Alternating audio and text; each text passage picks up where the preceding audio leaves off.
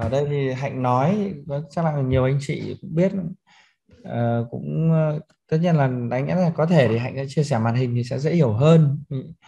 Ờ, hạnh cũng là quản lý marketing của một team một cái đơn vị khá là lớn. Đó.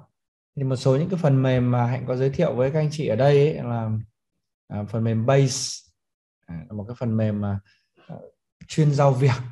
Cũng hiện nay cũng đang có lượng người dùng khá là lớn. Và họ bán um, họ bán một cái gói theo một tháng là khoảng vài trăm đến ờ, một hai triệu tùy theo số lượng người dùng. Đấy, họ bán theo số lượng người dùng. Thì um, ở đây nó cũng có nhiều sản phẩm.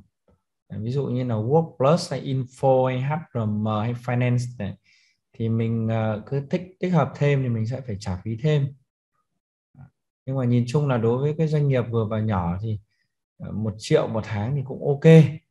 Còn đối với cá nhân thì một triệu một tháng thì cũng hơi hơi nhiều. Ờ, hơi nhiều. Ờ, mình cũng phải chân thành.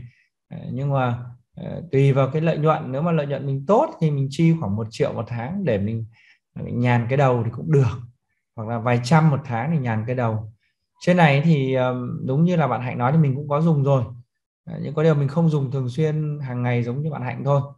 Thì là mình có biết là mọi người đưa lên đây và sau đó mọi người tag, rồi sau này trong này nó cũng có cả phần mềm chat, rồi nội bộ, rồi văn bản.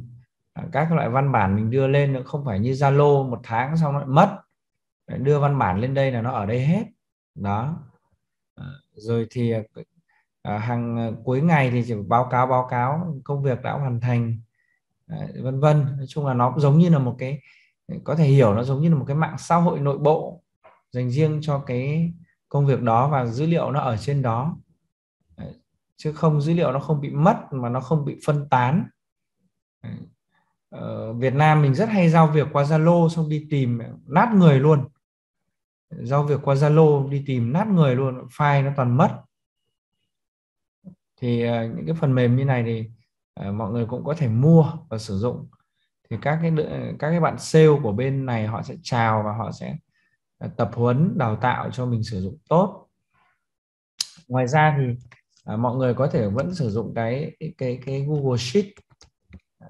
Google Sheet là cái mà à, dễ nhất của chúng ta. Chúng ta hay lập những cái này online hoặc là Microsoft Online. Bạn hạnh cũng có đề cập đến một cái cái cái phần mềm nữa là Google Calendar tức là lịch làm việc lịch thì ví dụ như mình có thể tạo lịch như thế này. Mình tạo các công việc ở đây. Mình ờ, sau đó mình tác mọi người vào và thời gian hoàn thành có đầy đủ. Hoặc không thì mình cứ làm qua Excel mình gửi hàng tuần mình làm. À, còn ngoài ra thì cũng có những cái phần mềm như khác như là Trello. Trello là một cái phần mềm cũng tương đối nổi tiếng trong lĩnh vực gọi là giao việc nhân sự và bây giờ thì nó có Microsoft Teams. Microsoft Teams cũng là một cái phần mềm mà để họp nhóm để làm việc trực tuyến rất mạnh. Đấy, thì thằng Trello này nó cũng làm các cái task vụ dưới cái dạng là, dưới cái dạng các cái thẻ giao ở đây, xong rồi attack file, C comment các thứ rất là tốt thì cái thằng base này nó cũng dựa, nó phát triển là dựa trên cái thằng Trello. Ý là nó có có những cái sự học hỏi. Ờ, sau đó thì nó cũng phát triển phù hợp với thị trường Việt Nam, phù hợp với đối tượng người dùng rồi ngân sách, rồi rồi thì cái thói quen, vân vân, quy mô. Thì mọi người có thể sử dụng những cái phần mềm như này để tham khảo thêm, nhá. Ok.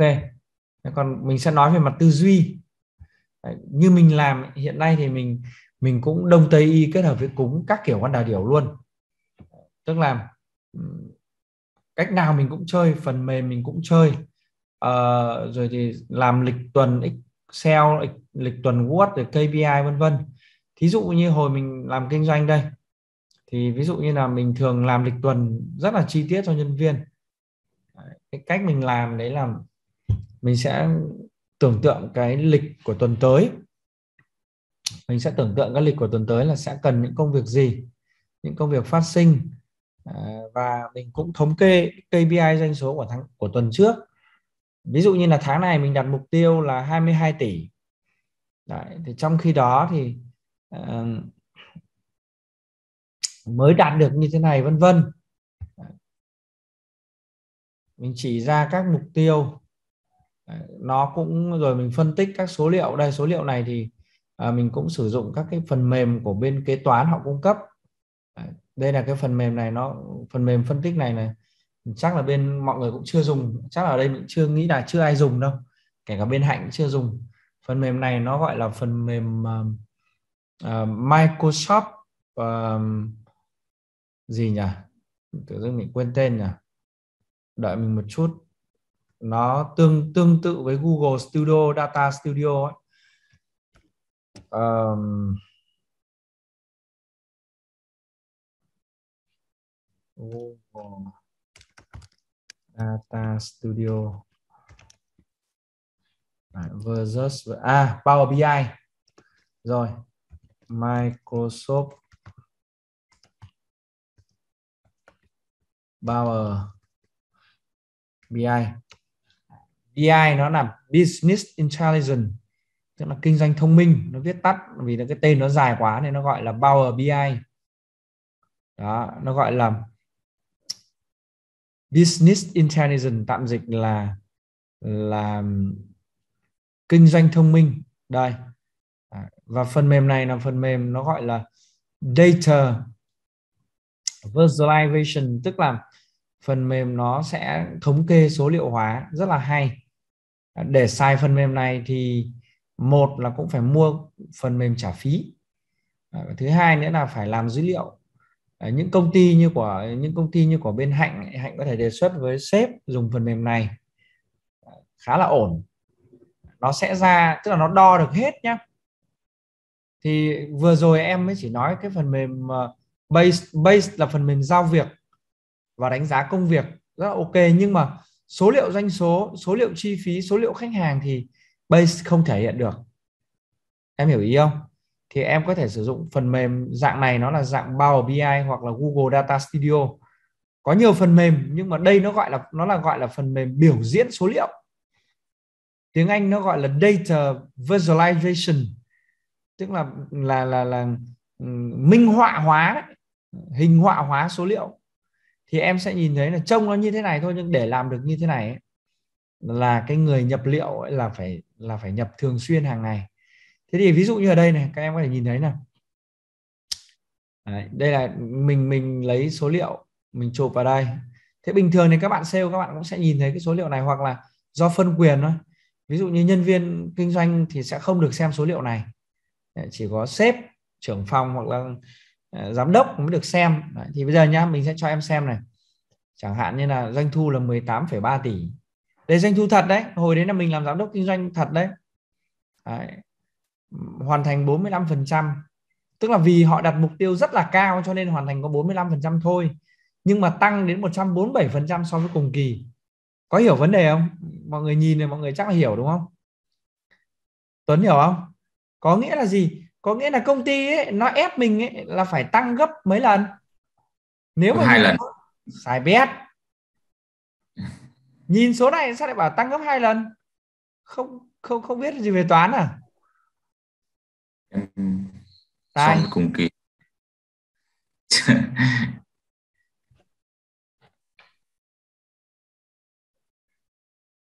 Tung tung à thế phải là ba lần. Chính xác chính xác. Khiếp cái số này mà nghĩ mãi mà không ra.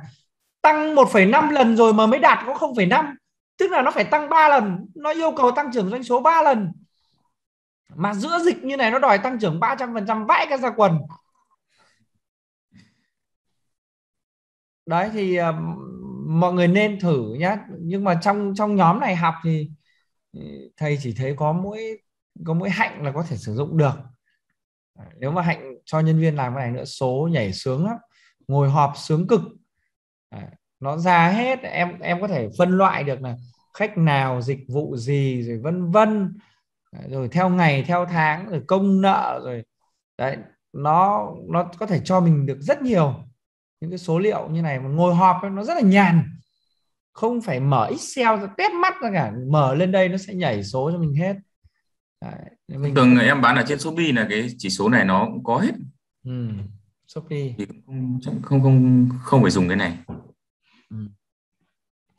Shopee nó là phần mềm nội nội sàn của nó thế nếu vâng. mà thầy không bán Shopee thầy thầy bán hàng online bình thường hoặc là thầy bán chuỗi bán lớn thì thầy phải dùng số liệu này những cái doanh nghiệp lớn ấy họ dùng những cái số liệu này họ phân tích được xu hướng rất là tốt thế thì mình mình thường nhá, cách mình làm là mình thường làm báo cáo rất là chi tiết tuần trước. Ờ, phân tích ưu nhược điểm, kế hoạch tuần sau, giao doanh số, cái gì được, cái gì chưa được, cần phải làm gì. Thì bọn mình cũng có base, nhưng mà nhưng mà trước khi làm base thì mình sẽ làm cái này. Mình sẽ vứt cho sale sau đó là đầu tuần mình họp. Rất là chi tiết đây vì là không phải là base nếu mà base của hạnh là sẽ tác hết ở trên này không cần phải làm đúng không? Một cái bản này một cái bản này đánh tầm 7 7 trang như này thầy thầy ngồi là thầy làm mất một tiếng đấy mất tầm một tiếng. Để một tiếng là thầy làm nhanh lắm. Ờ một tiếng 5 phút để giao việc cho nhân viên. Đấy, doanh số này vân vân này. Các loại tất cả các loại đầu việc già giả soát tất cả các loại đầu việc từ Facebook, Google đến kinh doanh ờ, sale các nhóm ngành hàng. Ờ, thì ờ, mình thường làm một cái lịch tuần như này. Nó nó nó sẽ thấy là rất là chi tiết và và bây giờ biến cái lịch tuần này đưa vào vào vào um, cello hoặc là vào Base là xong.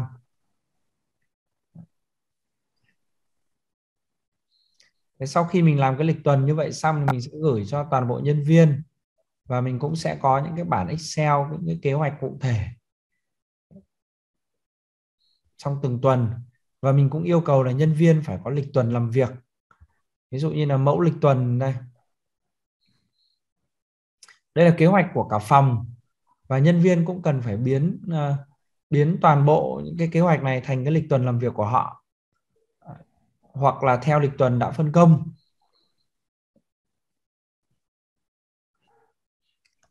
Có có vẻ như là đã dùng base rồi thì những cái phương pháp của mình nó hơi bị ờ, nó hơi bị cổ điển nó hơi bị uh, uh, nông nghiệp phát triển nông thôn quá nhỉ hạnh nhỉ?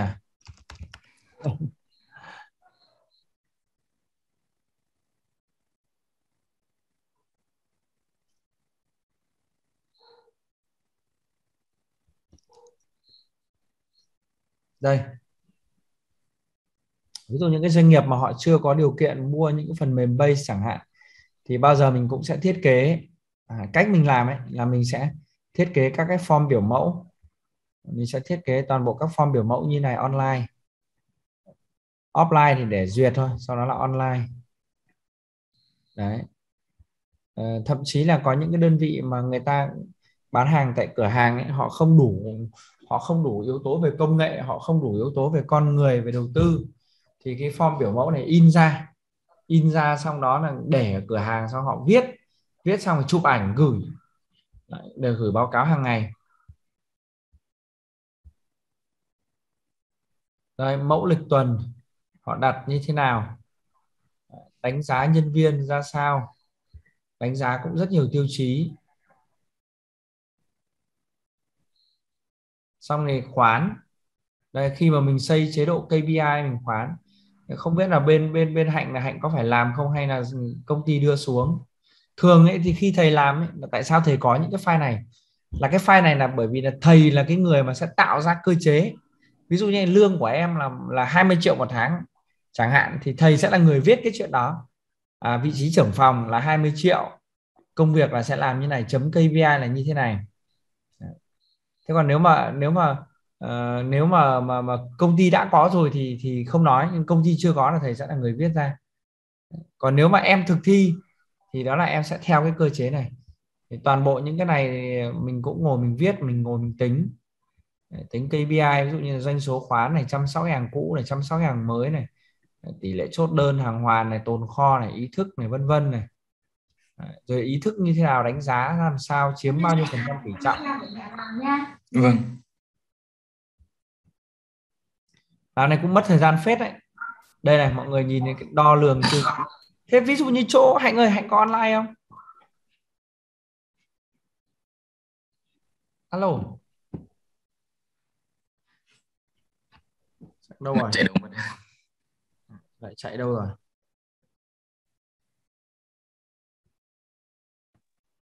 Em vâng ạ. thế ví dụ như bên em đánh giá nhân viên thì đánh giá như nào Bên em đánh giá theo kết quả cuối. Số khách thôi. đánh giá mỗi theo số khách thôi Vâng. thế ví dụ như đi sớm về muộn thì sao Bên em freestyle. free hết Vâng, nhân viên của em thì đủ làm đủ uh, 8 tiếng một ngày là được. tức là đi muộn thì sẽ làm muộn Vâng, đúng rồi. Cứ Dạ. đạt hết kết quả là được. Làm agency ấy thầy. Ừ. Tại vì mô hình của bọn em theo dạng kiểu cũng các bạn trẻ và cái công việc marketing thì thực ra là nó cũng cũng không không cần phải on time lắm rồi. ừ. cứ làm Mình- sao đủ khối lượng công việc. Ừ. Mình cũng có biết một số đơn vị họ áp dụng ờ, cái cái cái mô hình là đủ giờ ấy. Tức là mô hình đủ giờ là nó cho phép nhá. Không phải 8 giờ đến đâu, 10 giờ đến được thì 8 giờ tối về. à, cứ đủ 8 tiếng nó chấm công kiểu đấy mọi người ạ, cũng rất là hay. Thì nó lại phù hợp với những thằng mà uh, lại thích cà phê sáng này, thích không phải bận rộn, không phải uh, kiểu uh, kẹt xe ấy. Đấy, nó 10 giờ nó đến nhưng mà nó lại sẵn sàng cày đến 7 giờ tối để nó đủ 8 tiếng nó tít chấm công một số công ty bây giờ họ cũng áp dụng cái phương pháp đấy cũng rất là hay. Thì đây ví dụ như là mình đưa cho một cái đơn vị là đánh giá này bản báo cáo hàng ngày này báo cáo hàng tháng này hàng tuần này. Doanh số bán hàng này doanh số khoán này doanh số thực tế này tỷ lệ đạt này. Đấy, chăm sóc hàng cũ này. Đấy. rồi thì danh sách khách hàng mới này số lượng đơn hàng này báo cáo nhập hàng này báo cáo hàng tồn kho hàng bán chạy bán chậm này báo cáo công nợ này thế thì mọi người có thể sử dụng trong một bản báo cáo cũng được hoặc là mọi người có thể chia nó ra thành nhiều bản báo cáo cũng được. Thì cái nguyên tắc này nó cũng đơn giản thôi là nguyên tắc là em mọi người muốn ờ, muốn muốn thống kê cái gì thì mọi người làm cái đó. Đấy, thí dụ như là tài tuyển sale chạy anh thăng tuyển sale chạy thì cũng phải có mẫu báo cáo cho người ta để người ta làm. Ví dụ hôm nay người ta đi tiếp cận được bao nhiêu đại lý ờ, nội dung là gì cách chấm cách ờ, cái buổi hôm đấy người ta nói chuyện gì người ta phải cập nhật thông tin lên. Thì sau đó mình sẽ có một cái người check. Cho nếu mà nếu mà chỉ đơn thuần là ờ, đánh giá dựa trên kết quả thôi thì thì nó lại khá là đơn giản. Nó lại khá là đơn giản này không có gì phức tạp cả. Giao việc xong đó thì cứ đủ việc thì thôi nó ngủ ở nhà cũng được thì, thì lại rất là đơn giản.